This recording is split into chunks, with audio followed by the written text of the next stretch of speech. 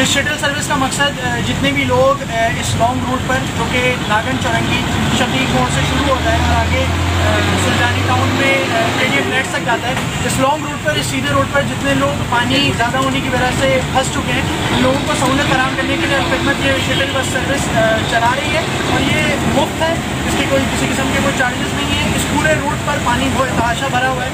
UP मोड़ हो, नागन का पुल उतरते ही पानी का खासा बहाव है। फिर उसके बाद पावर हाउस पर भी खासा पानी जमा है। तो ऐसे में लोगों की अपनी ट्रांसपोर्ट भी जो है वो बंद हो रही है। पब्लिक ट्रांसपोर्ट अवेलेबल नहीं है। तो ऐसे में लोगों को आमतौर में बहुत मुश्किल का सामना करना पड़ रहा है। इसीलिए अलखदमत की जो मैयर गाड़ियाँ जो कि अलहुदा मस्जिद Usman public school campus to power house Sarangi पर मौजूद होती है।